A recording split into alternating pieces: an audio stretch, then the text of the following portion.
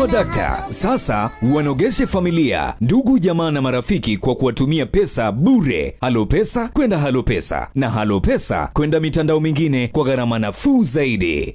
Halotel, pamoja katika ubora.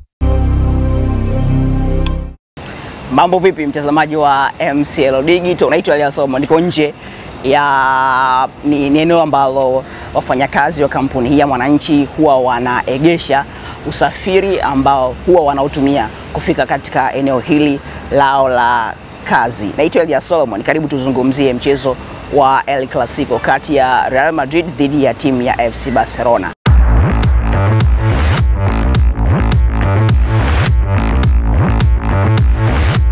Mwanzoni mwa msimu msisimko ulikuwa unatajwa eh, kupungua kutokana na nyota wa Real Madrid Cristiano Ronaldo kujiunga na klabu ya Juventus. Msisimko unaonekana kupungua zaidi kutokana na star wa FC Barcelona Lionel Messi kuumia katika mchezo ambao Barcelona ilikuwa inacheza dhidi ya Sevilla.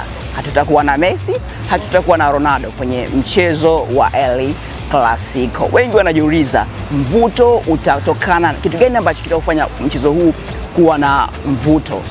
Uh, tukijaribu kuangalia rekodi, rekodi zinaonyesha kwamba mchezo huu ni wa mia sabini na nane katika michezo ambayo imepita. Madrid anaonekana kupata matokeo zaidi katika La Liga, nikiwa na maana hiyo imepata matokeo mara 72, lakini kwa upande wa Barcelona amepata matokeo mara sabini kwa maana ya kushinda mchezo wa El Clasico, lakini ni kwa upande wa La Liga umetoka sare mara 35 na tano. Tuzungumzie sasa namna gani ambavyo Madrid na Barcelona wanatawaliana katika mchezo huu bila ya nyota wao ambao tumezoea kuwaona katika misimu kadhaa nyuma na wakileta msisimko wa mechi hizi za El Clasico. Ah, kwa upande wa Barcelona kwenye mchezo wao uliopita wa Champions League ambao walicheza dhidi ya timu ya Internazionale Milani katika nafasi ambayo tulizoea tukimuona akicheza Lionel Messi, tuona akitumika uh, Rafinha na Rafinha alicheza na tuko na Barcelona anacheza, lakini ilikuwa inaonekana wazi kwamba kuna kitu ambacho kimemiss kwenye eneo lao la ushambuliaji. Wana faida ya kuwa na Coutinho eh, wana faida ya, ya, ya kuwa na Arthur ambaye anacheza nyuma ya washambuliaji wa mbele eh, kuangalia katika kikosi cha Barcelona nyuma yupo Arthur, yupo Busquets, yupo na Rakitic. Kwa hiyo uwepo wa Coutinho, Rafinha unaweza ukaifanya Barcelona kuendelea kucheza aina yao ya mpira ule ule ambao tumeuzoea.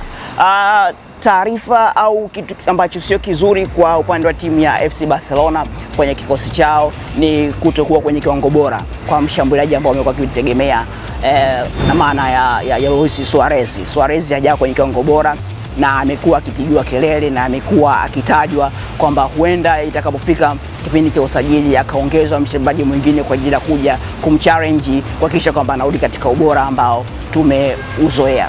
Kwa upande wa kikosi cha Real Madrid chini ya mwalimu Julian Lopetegui bado hali ni tete kutokana na matokeo ambayo amekuwa akiyapata kwa michezo ya hivi karibuni. Ukiangalia uh, Lopetegui katika michezo mitano ambayo imepita wamepata matokeo ushindi kwenye mchezo uliopita dhidi ya Victoria Plzen kwenye Champions League.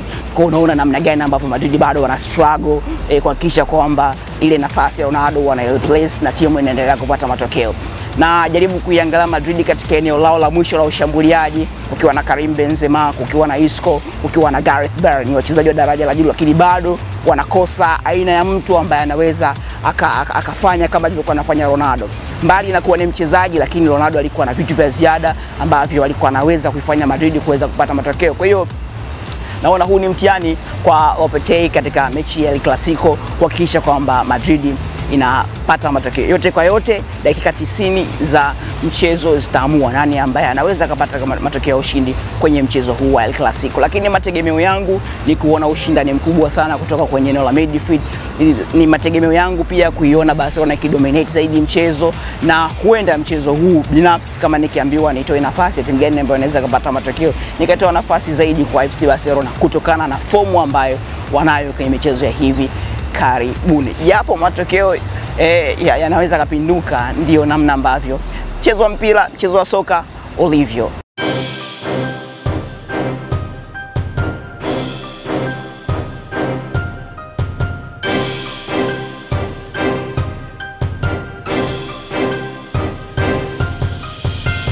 Kama una mtazamo wako na wewe unaweza ukadrop kwenye sehemu ya comment hapo ambapo unaangalia chini kabisa, utoe mtazamo wako kuhusiana na mchezo wa El Clasico. Nadhani timu gani ambayo inaweza kupata matokeo? Ya, naitwa Elias Solomon, hii ni MCO Digital, subscribe.